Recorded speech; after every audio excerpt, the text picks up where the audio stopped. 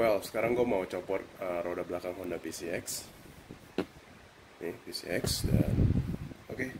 Pertama langkahnya adalah kalian harus copot ini dulu, knalpotnya dulu. Nggak harus copot sih, kendorin aja di dari daun depan. Itu kayak pakai buat 12 ya kayaknya. Coba gue cek dulu ya.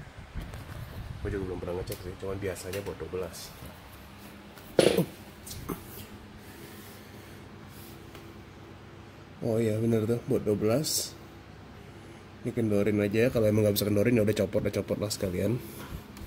Habis itu? Copot mountingnya sini. Nah udah copot. Kayak harus copot udah copot semuanya lah biar gampang. Ah. habis itu baru copot ini armnya armnya. Copot shock breaker ini bawah. Gue nggak tahu nih shock breaker atas perlu copot atau enggak kalau nanti coba gue akal akalin kalau emang nggak perlu copot ya nggak usah copot. Tapi kalau copot masih copot shock breaker belakang nih. Udah bawa D atas lagi cuman ya udah. Oke. Kita mulai dari sekarang ya. Ini gua biar cepet gue bikin time lapse aja ya. Jadi oke langsung ke time lapse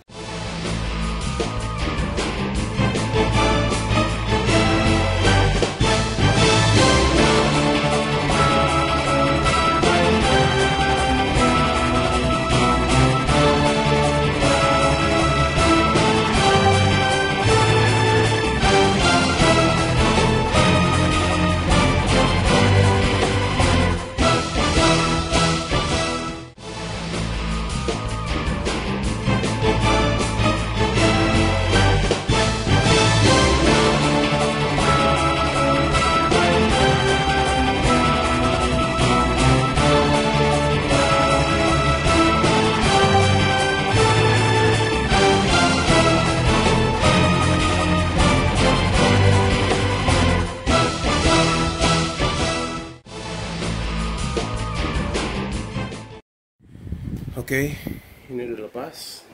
Aduh, sebentar. Jadi shock breakernya nggak perlu dicopot ya kalian ke depanin gini aja bisa nih. Kalian depan gini bisa. Dan tadi by the way, baut knalpot ternyata bukan baut 12 ya, itu baut 10. Jarang banget gue ngeliat baut knalpot baut 10, biasa baut 12.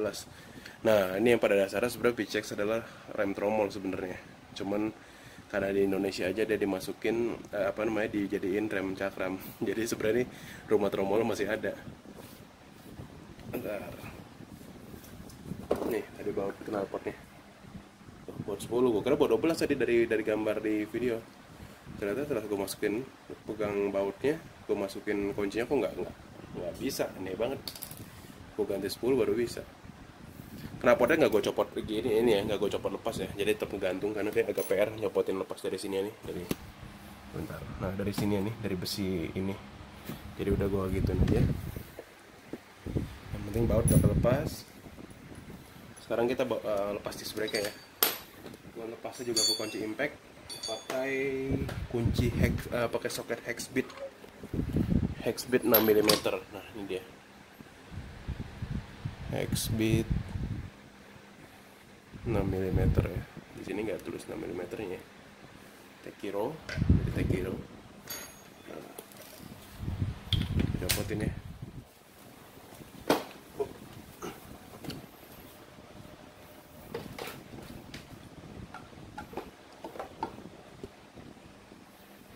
satu dua tiga. Kalau pakai impact nih gampang kalau pakai kunci manual gila keras banget. Satu dua tiga.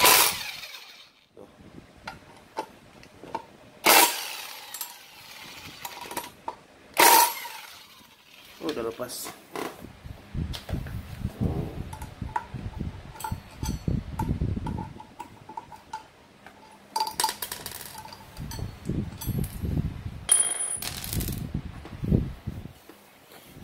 Ya, belakang. Dan udah, ini udah siap gue warnain. Ini mau gue bersihin dulu. Habis itu gue warnain nanti video warnainnya di video berikutnya ya cara pasangnya sama kayak tadi kebalikannya aja kalian tinggal lihat aja dari proses bongkarannya ya kebalikannya pemasangannya jadi udah gitu dulu dan oke okay, bye